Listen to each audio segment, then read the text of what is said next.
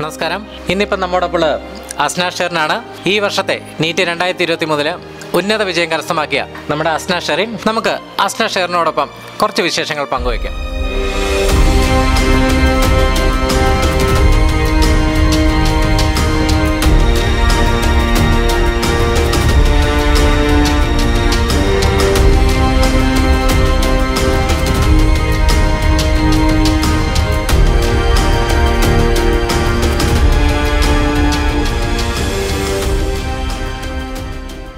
ഞാൻ കോഴിക്കോട് ഓഫ്ലൈനായിട്ടായിരുന്നു ചേർന്നിട്ടുണ്ടായിരുന്നത് അപ്പം പലർക്കും പല സ്ട്രാറ്റജീസ് ആയിരിക്കും പഠിക്കുന്നത് ഞാൻ മെയിനായിട്ട് ഫോക്കസ് ചെയ്തത് എന്റെ വീക്കിലി എക്സാംസിലായിരുന്നു അപ്പം ചിലർ പറയും നമ്മൾ അന്നന്ന് പഠിക്കുന്നത് അന്നന്ന് പഠിപ്പിക്കുന്ന അന്ന് പഠിക്കണം.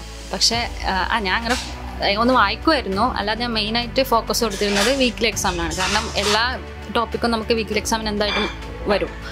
അപ്പം ഞാൻ വീക്കിലി എക്സാമിന് ഒരു വീക്കിലി എക്സാമിന് പോകുന്നതിന് മുമ്പ് അതിന്റെ ടോപ്പിക് എന്താണ്? അതെന്തായാലും ഞാൻ ഉറക്കം ഒളിച്ചിട്ടായിരുന്നെങ്കിൽ ഞാൻ കംപ്ലീറ്റ് ചെയ്യായിരുന്നു പിന്നെ എക്സാം കഴിഞ്ഞ് പിന്നെ ഞാൻ തെറ്റിയത് അന്ന് തന്നെ നോട്ട് ചെയ്ത് നോക്കും പിന്നെ അതിന്റെ എ പ്ലസ് എക്സാം എത്ര മാർക്ക് കുറവായാലും എന്തായാലും അറ്റൻഡ് ചെയ്യുമായിരുന്നു. അപ്പോൾ അതും തെറ്റി ക്വസ്റ്റൻസ് ഒക്കെ എഴുതി വെക്കും.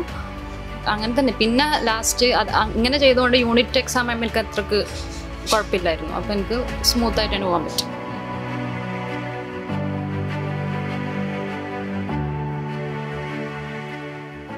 എൻട്രൻസ് സംബന്ധമായ വാർത്തകളും അപ്ഡേഷനുകളും ഏറ്റവും വേഗം ആധികാരികമായി അറിയാൻ brilliant study centre Pala YouTube channel subscribe ചെയ്യുക ബെൽ ഐക്കൺ അമർത്തുക ഈ വീഡിയോ മറ്റു സുഹൃത്തുക്കളിലേക്കും മാക്സിമം ഷെയർ ചെയ്യുക.